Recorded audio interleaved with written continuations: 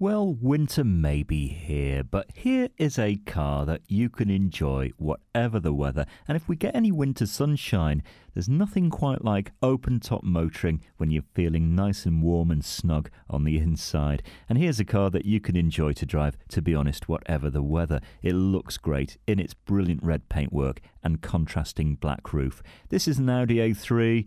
You'll not be disappointed. A 1.6 diesel engine up front, so it's a good performer with low running costs.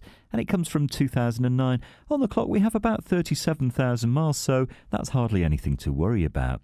Get inside, and it's a lovely cabin. It's the usual Audi fare, so very good quality and very comfortable.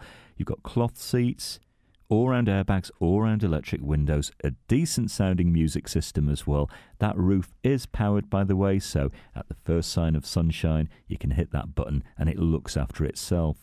This car will do 0 to 60 in about 12 seconds, so it's a good performer.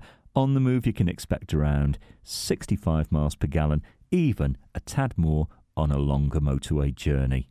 Now, if you fancy a test drive, no problem. Why not ring and reserve? Come and discover this great car for yourself at Fords of Winsford.